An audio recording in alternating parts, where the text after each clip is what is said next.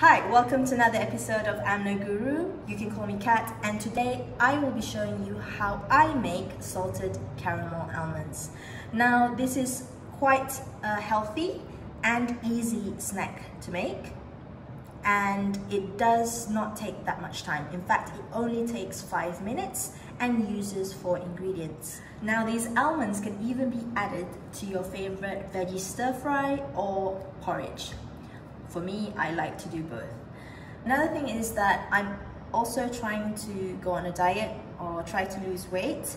So what I've done is I've counted the calories for this particular snack and it's uh, the measurement of the calories or the total calories is for 120 grams of almonds. You can find the description of the calories above here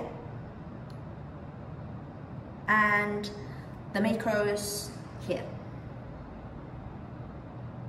Now that we're done with that, let's go on to see how we make this. Now what makes this recipe easy and quick to make is that I have the assistance of my handy air fryer. It browns the almonds quickly and evenly. You will also need a wok or any deep fry pan. You will need 120 grams of almonds, 15 grams of butter, 2 tablespoons of caster sugar and 1 teaspoon of sea salt. Now the first thing that you need to do is to place the almonds in an air fryer, spread them evenly and set the temperature at 180 degrees Celsius to cook for 3 minutes. They should end up looking something like this. Okay, I've switched on the fire and the first thing that I'm going to do is I need to melt the butter. Okay, is 15 grams of butter, just enough that we measured. And just make sure that the fire is not too high because we don't want the butter to go brown, we just want to melt it.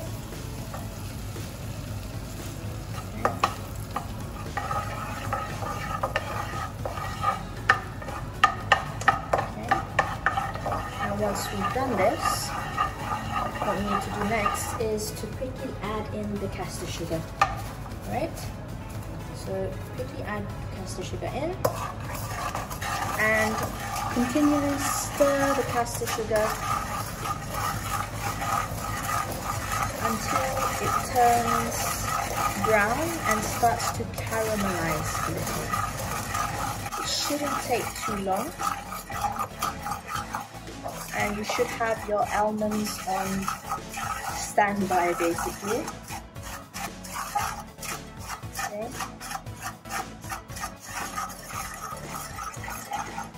I'm not even using a cooking thermometer for this, just a matter of estimating.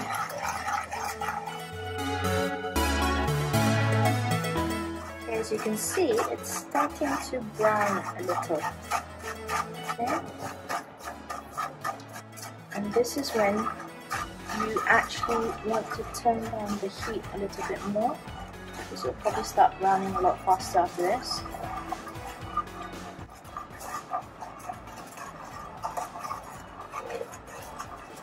And you have your almonds ready. Excuse me, sorry.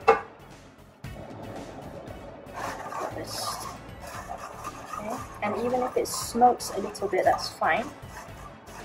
As you can see it's starting to caramelize.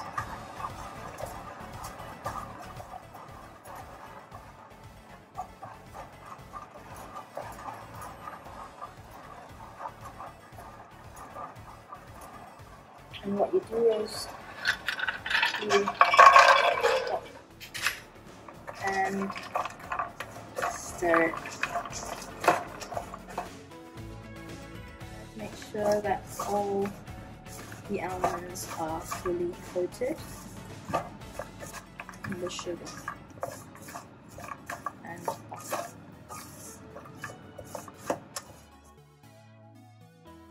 So as you can see it's smoking.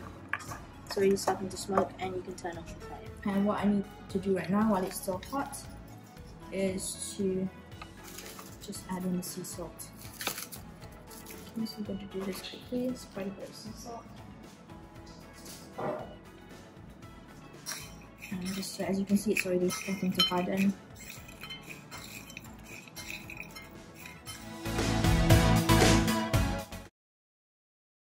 The almonds are ready and I am going to try and taste one by catching it in my mouth. So here we go. One, two, three. Okay, I managed to do that. Mmm, they're really nice. They're crunchy and they have a slight saltiness as well as sweetness to them. I think you would enjoy them as a snack and I would recommend that you try this recipe. So till the next time, I hope you enjoyed this video. Click uh, like, share and subscribe. Bye.